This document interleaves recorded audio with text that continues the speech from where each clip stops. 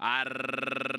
Arrancan las competidoras del Ginger Punch State, temporada 2023. La partida es perfecta. Salta rápidamente el ejemplar Prudent Sun a tomar la punta. Ataca por el centro de la pista. La número 4, Tamarindo. Bex Green busca segunda línea y viene ahora al segundo lugar. Se queda Tamarindo en el tercero. En el cuarto aparece Treasure Tales. Luego trata de movilizarse la número 7, Six Shadow. Mientras que la número 5, Prairie King, se ha quedado en la última colocación. Prudent Sun está en punta. Ventaja de tres cuerpos sobre la favorita Beth Green, que contenía este en el segundo lugar en 25-13 el primer cuarto de milla. En el tercero, Treasure Tales. En el cuarto aparece Tamarindo. En el quinto intenta acercarse la Yua Six Shadow. Mientras que la Yua Prairie King está en la última colocación. En la recta de enfrente, Prudent Sun con Ángel Morales mantiene la punta. Acorta la distancia Beth Green con Emisael Jaramillo. Está en el segundo lugar. En el tercero aparece Tamarindo con Edgar Sayas. En el cuarto, Treasure Tales con Luca Panichi. Luego trata de acercarse por la parte externa Six Shadow con José Alonso. Mientras que la número 5, Prairie King con José Morelos.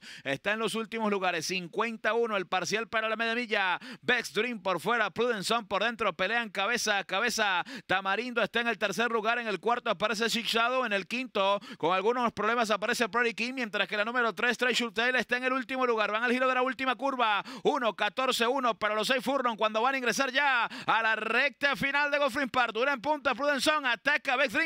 Desde el fondo se acerca Prairie King junto a la número 4. Bex Dream por el centro está desplazando. Insiste Prudenson por dentro y viene volando. Prairie King por la parte externa junto a Tamarindo.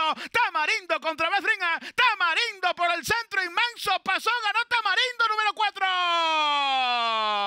Segundo Bethring. Tercero para Prairie King.